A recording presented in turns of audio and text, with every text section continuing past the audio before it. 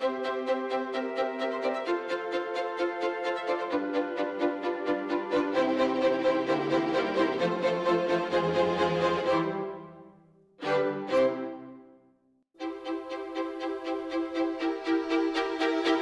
Lederberg, l'injustice dans les gènes. Novembre 2006, l'Université de Stanford publie un hommage à Esther Lederberg, professeure émérite en microbiologie et immunologie, qui vient de succomber à 83 ans. Lyrique, ses collègues exaltent la Pionnière en génétique bactérienne, Le- génie de laboratoire, La- légende. C'est beau, comme un sirtaki. On s'en doute, ne serait-ce que par la nature de cette chronique, la surdouée aura été particulièrement gâtée par ses pairs durant sa longue carrière. Atterrie pendant la Grande Dépression du début des années 20 dans le Bronx de New York, Esther grandit avec des morceaux de pain imbibés de jus de tomate dans la bouche.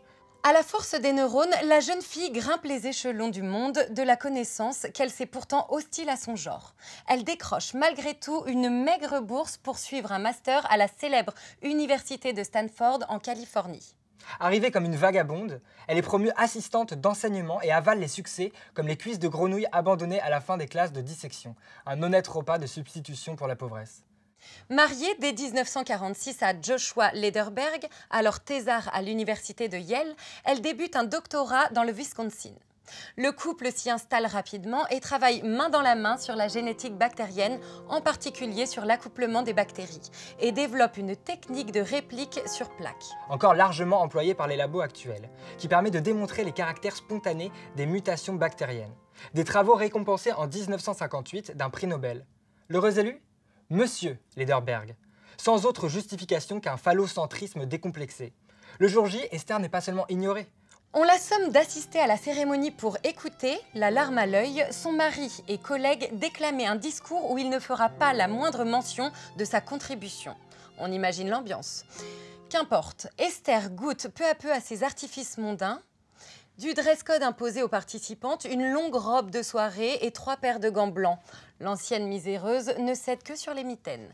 Pour le reste, elle préfère teindre elle-même une paire de chaussons de ballet assortie à une robe blanche de bal de promo. Le couple finit par divorcer en 1966. Esther ne se lassera pas de raconter les petits défis menés pour imposer son corps féminin au monde tout neuf de la génétique. Comme proposer des services surqualifiés en tant que vacataire à Stanford après que la faculté lui ait refusé un poste de professeur, qu'elle obtiendra plus tard. La vieille dame analysera ses mésaventures avec philosophie.